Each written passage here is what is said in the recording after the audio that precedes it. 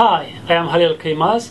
I would like to talk about one of the electives we offer at Crummer, INTL 603, International Financial Management. This elective counts toward finance or international business concentration. Why study international finance? Today, 30% of the profits coming from international operations, compared to 4% about 50 years ago.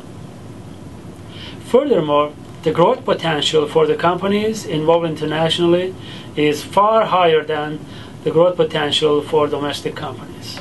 Every firm is somehow influenced by weak dollar, strong dollar. This course starts with the analysis of global financial environment.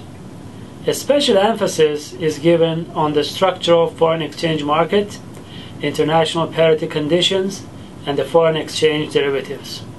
The second component deals foreign exchange risk management, which has become very important for many companies.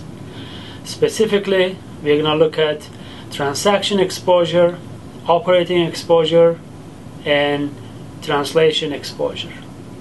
And we're going to talk about how to measure them and how to hedge against them. Finally, we will focus on international financing and investment opportunities we are going to talk about how to raise money globally. We're going to talk about how to invest in capital budgeting process internationally and how to acquire foreign companies. Activities in this course include uh, Harvard case presentations, foreign exchange market simulation, and, and current practitioner articles. I hope this description will help you in your elective selection process. Please let me know if you have any questions.